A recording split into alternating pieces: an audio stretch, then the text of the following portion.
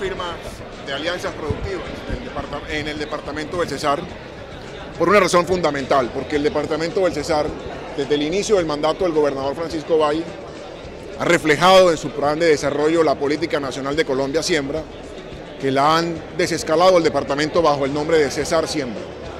Ese reflejo de la política nacional en el plan de desarrollo departamental es producto de la coherencia con la cual se han venido manejando las decisiones en materia agropecuarias para este departamento. Por eso decidimos iniciar esta vuelta a Colombia por el departamento del Cesar. Era un hecho además histórico para el departamento de lograr 22 alianzas productivas en la última convocatoria por un valor aproximado de 28 mil millones de pesos. Es quizás el programa individualmente considerado más voluminoso en recursos que llega al departamento del Cesar.